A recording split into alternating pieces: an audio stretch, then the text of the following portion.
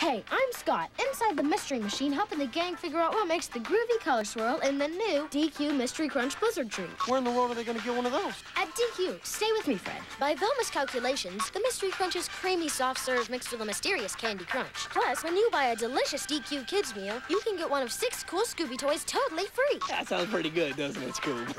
With the Mystery Crunch at DQ and the Scooby Doo gang in theaters this summer, it's no mystery what you can do. DQ something different.